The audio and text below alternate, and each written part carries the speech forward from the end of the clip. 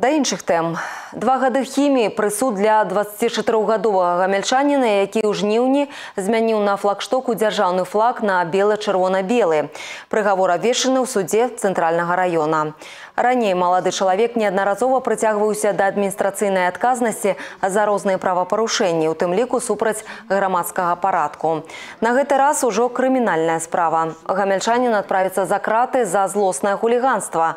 16 жніўня ён разам з іншымі спусціў дзяржаўны флаг з флагштока на плошчы Леніна. Замест яго было ўстаноўлена і ўзнята бела-чырвона-белае палотнішча.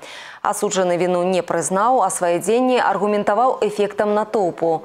Вынік такой выхадкі два гады ў калоніі пасялення адкрытага тыпу.